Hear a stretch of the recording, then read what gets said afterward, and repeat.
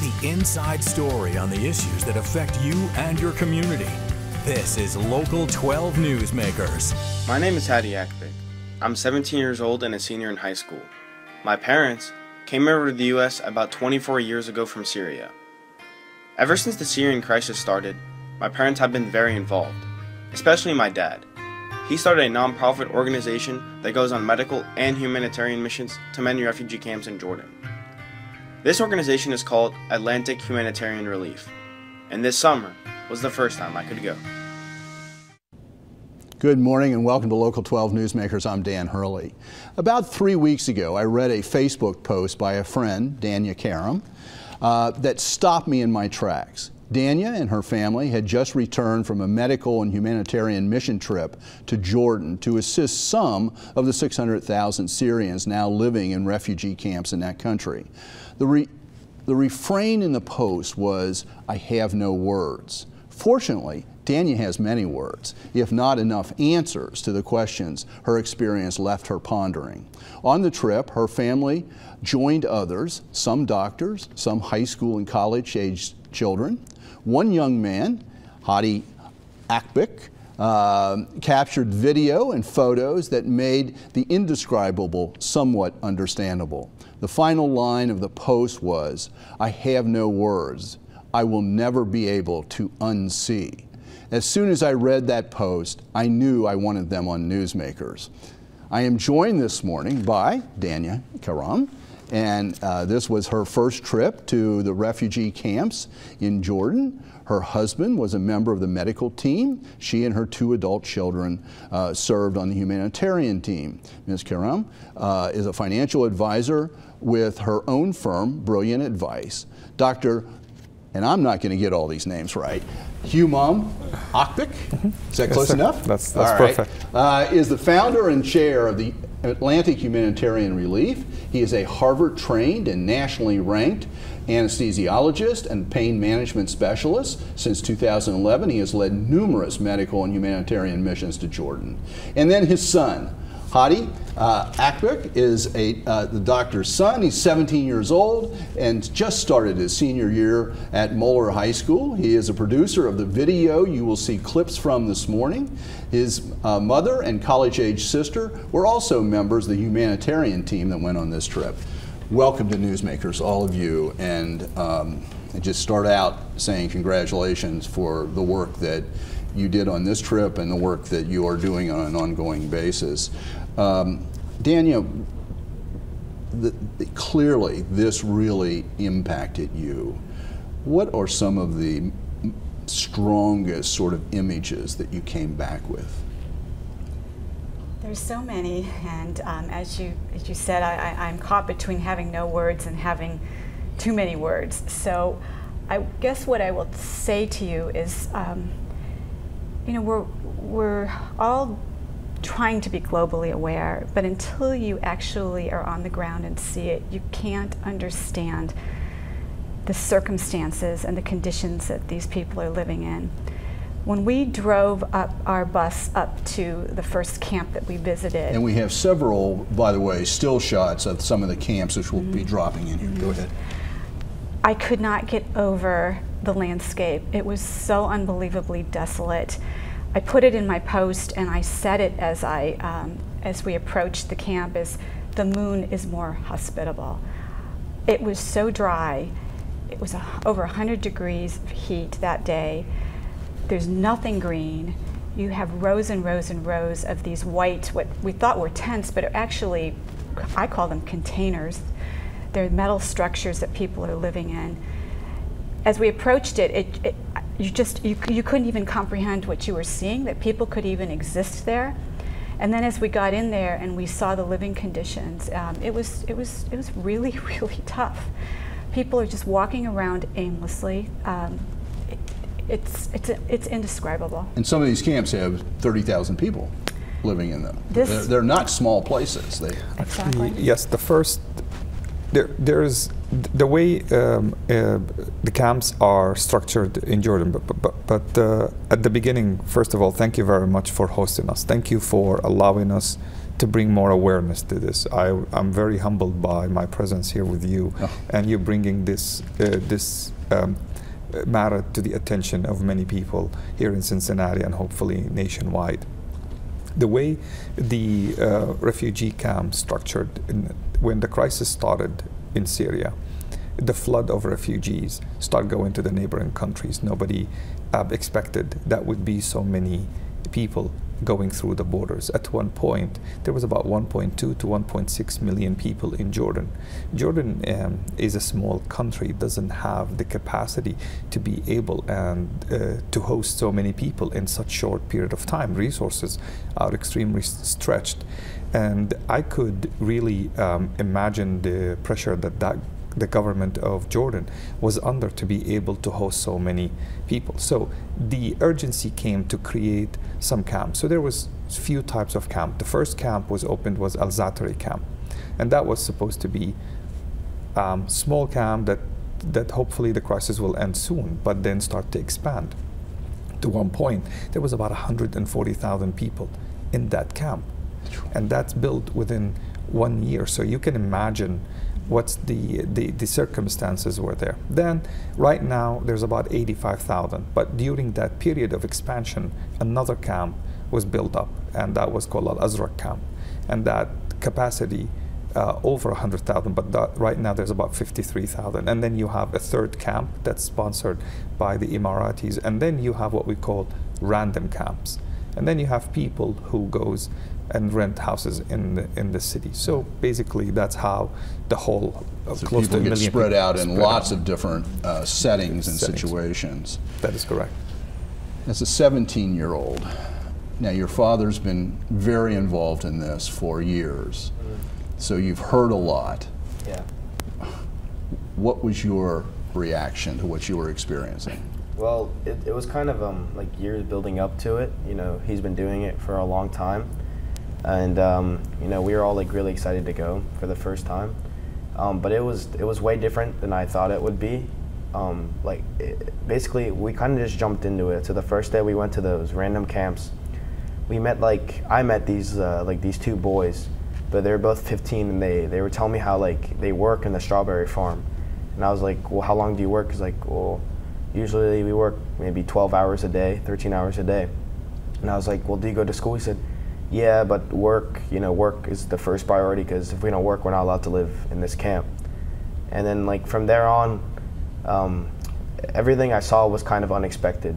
You know, I didn't, I couldn't imagine, like, their living situations. You see these, you know, tin houses that were shown, and they're, they're 27 meters, and six people live in there, you know? There's, we, we have a clip from your video of, there's no narration here, this is just shots of children, some probably not that much younger than you, mm -hmm. that really struck me uh, very hard when I saw it. I, I, and it, it, seems to me um, there's the medical side, which we're going to talk about in a minute, in a minute, but the humanitarian side of just reaching out to people and letting them know that somebody cares. Um, it, it, seems to me really powerful, mm -hmm. and that's that's what the two of you we were really involved with, right? I mean, uh, like these kids, the the first day we went, um, like we, we brought them some soccer balls, and the like the sheer excitement on their faces, like for like just a simple thing, because they never get them. So usually, like they'll have one ball, and they'll all just fight over it. So we brought them these like supplies. We brought them things for their faces, like some coloring books, and you just see hundreds of kids just flock to you because they, they, they don't get to see these things a lot, you know? And um, like the, the little things, you know, like we, we brought them like little noses, like little clown noses, and that entertained them for hours. So it, it was like really great to watch. Yeah. Um, from a, the humanitarian side of this, there was also a focus on education. Mm -hmm. And I saw that, you know, there are a number of stills of you know, different people engaged with the children. What's the ability to keep children's education going at all in this situation? It's really tough. The camps provide education, but many of the kids in the camps don't go to school. They don't go for a variety of reasons. Uh, if you think about the trauma of war, their parents oftentimes aren't able to deal with the day to day stresses so that they can't then promote their kids to go to school. So you have to have healthy parents who can then encourage their kids and get their kids to the schools, and that's not the case. And there are a lot of people that are really psychologically struggling with the loss of home, the loss of loved ones, the loss of very close family members, and the displacement. I think um, I, I read something that there are 2.5 million kids, Syrian children, who have been displaced by the war. And they're outside of Syria. Mm-hmm. That would equate to 35,000 school buses that would be required to bring them back to Syria. That's a lot of kids. Mm-hmm. And about a third of them are not getting any education at all.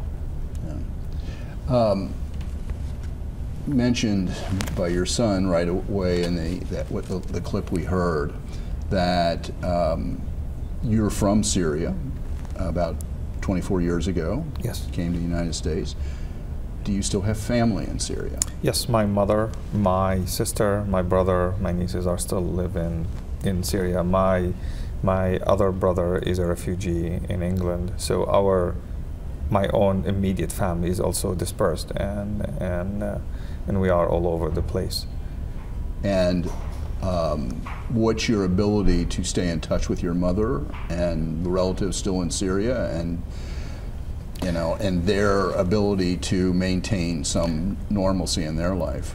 Well, I, I mean, the the new always it's the situation that they live in become the new norm and for us it's always not, not normal but when they live in and that's the day in day out that's become the new norm our communication is based on the availability of electricity and internet at the same time so you have to have the electricity they have it every few hours a day and then the internet in between those few hours. So you have just to catch that moment where you're able to communicate with them. That's the only mean of communication uh, with my family. So there's days that you won't be able to because there's just that moment uh, does not uh, does not exist. You know, we've talked a little bit about the humanitarian side of this, but as a doctor, it's the medical side that I suspect really drives you and your husband. And so, give us a little sense of you know, how many doctors went on this particular trip and what were you facing as you went on this trip?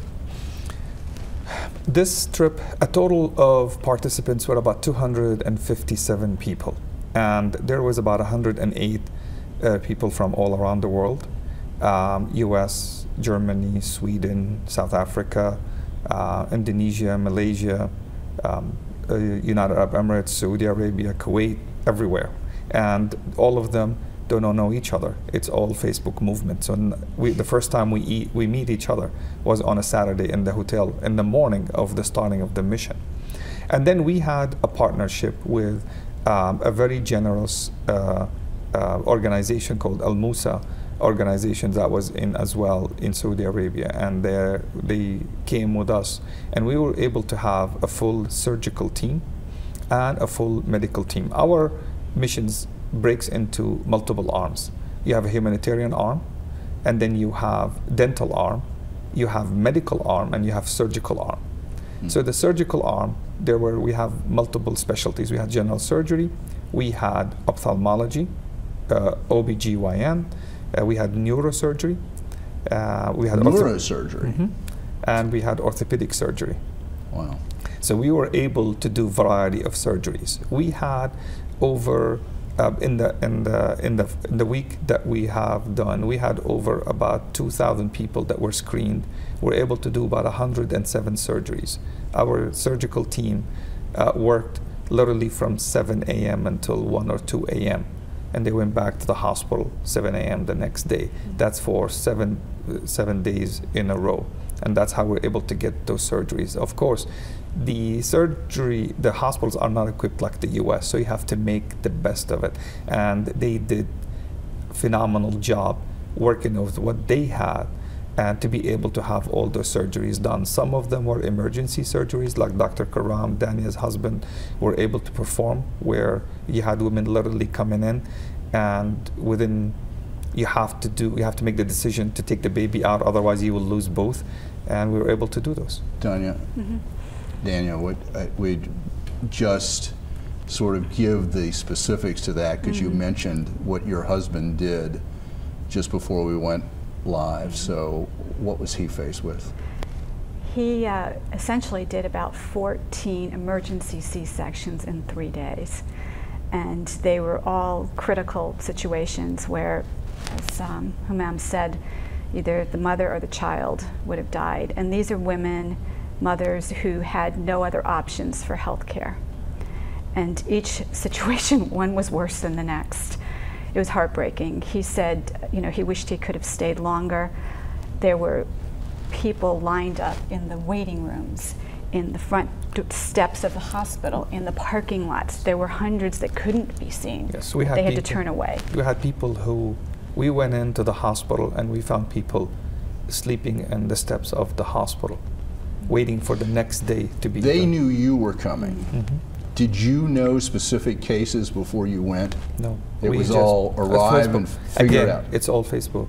It's Facebook and WhatsApp where they text each other and they say we have surgical team, so everybody showed up and they, we had people we were able to see in the camps and schedule their surgeries. Those people left the camp after a special permit get granted to them, and they went in and they literally slept for 24 hours on the steps until the next day they were able to get their turn. And, and that's okay. heartbreaking. I have to take a break right now, but stay right there. We're just going to continue this. Uh, stay tuned. When we return, dreams still survive in the refugee camps, but for how long? What's the future?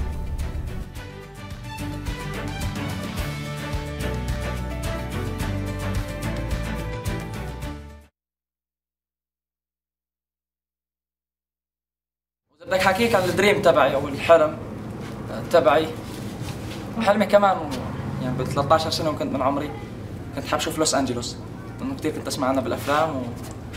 أو بالمسلسلات. أسمع عنها حتى قرأت عنها إنه مناطق حلوة و... هيك وكان في لنا جيران بسوريا. نص منهم طلعوا على باريس ونص ثاني طلع أمريكا. ويوم رجعوا أنا بحد ذاتي يعني ما عرفت ليش من تعليمهم وثقافه بتمنى أطلع هيك شي بلد غربي. امريكا مع المانيا مشان اهلي وناسي بس اذا بطلع امريكا مشان اشوفكم وكمل دراسه هناك مشان مثل ما تعرف عنده اختصاص بالطب Welcome back. This morning I'm joined by three people who have recently returned from a humanitarian medical mission trip to uh, several Syrian refugee camps in uh, Jordan. Danya Karram, Karram is a local financial advisor. Dr. Humam Akbik is an anesthesiologist and pain specialist and the founder of Atlantic Humanitarian uh, Services uh, Relief and a frequent traveler to the camps. And his son, Hadi, uh, is a senior at Moeller High School and the producer of the video clips that we are using. The entire video can be found on YouTube under the title People of Syria. And please go ahead and watch that because it's, it's well worth it. Who was that young man who was talking about his dreams? And um, so that uh, that boy's name was Arab. Uh, he's my age. He's 17. Um, he, so he's been living in the camp uh, for about four years, I believe now.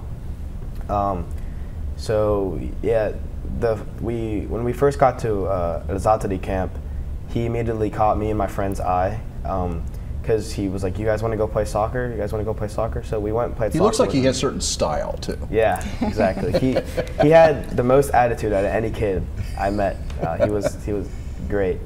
So we met with him, and then we were like, "So you're 17, just like us?" He was like, "Yeah." So then we just sat down and talked, and I and I was like, "This kid, he has a story to tell," and I wanted him to kind of be like the face of what I was trying to create there.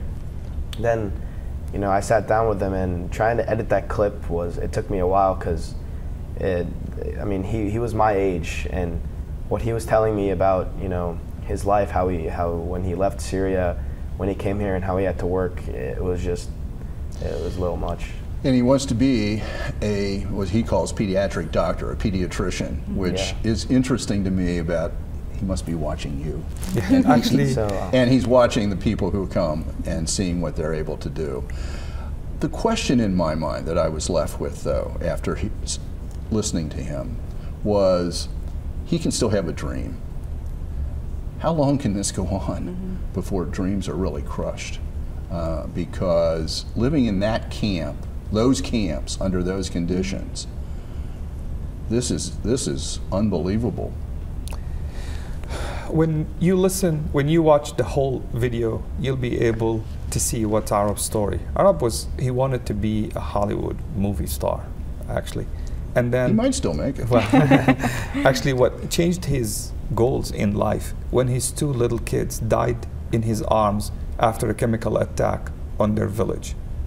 And the chemical attack happened. His little two kids were not able to survive the His two chemicals. brothers. Two brothers were able to survive the, the and when he when they died in his eye in his in his hands and weren't able to do anything, he said that maybe he can save some other children. That's what changed um, his dreams.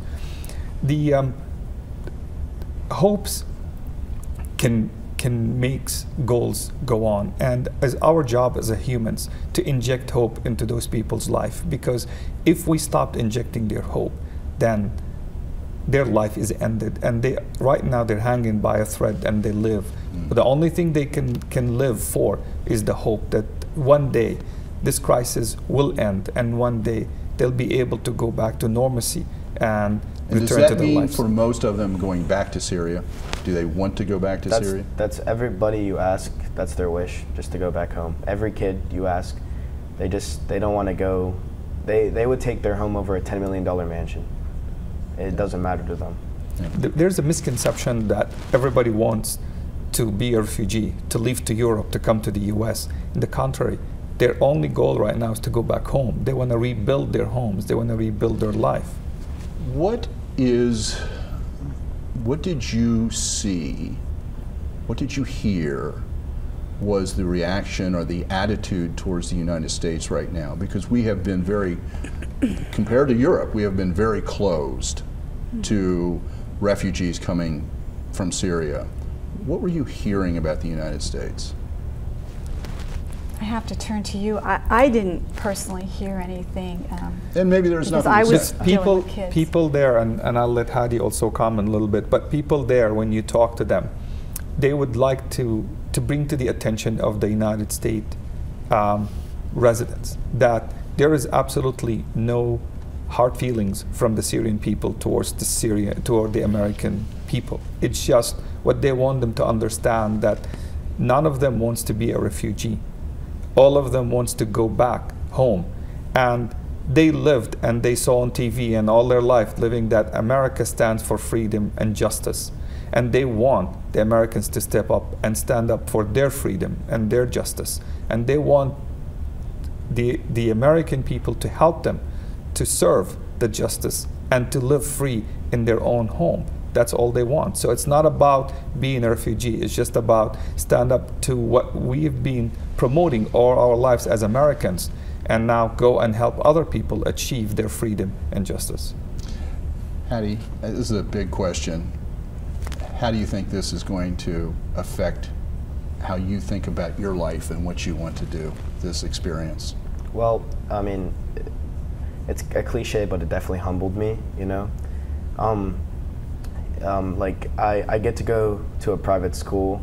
I get to drive my own car. Um, I get to have air conditioning in a house, my own room, my own computer. So, like when I went there and I and I met with Arab, and he told me that um, he used to have blue eyes, and his eyes turned bloodshot red from working in the fields all day during Ramadan it like it made me just you know want to stay with him and work with him because I don't it, it was it was really hard for me to like see that I'm this lucky and how I used to always complain and it, and it said a lot but it's it's really true mm-hmm. Yeah, yeah.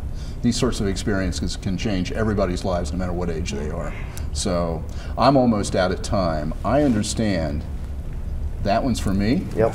Very good. two of them. and Just the- the great, color. thank you you. uh, I want to make sure people know how to find about about your organization. If you'd like to learn more or support the work of the Atlantic Humanitarian Relief, go to the website www.atlantichumanitarianrelief, pretty straightforward, .org, and you'll find out a lot more information about the organization as well. Uh, thank you for everything you are doing on an ongoing basis and for the inspiration that you bring back here to all of us. Thank you for Thank hosting you. us. Thank you. Thank you Thank you for so much. all your efforts. Okay.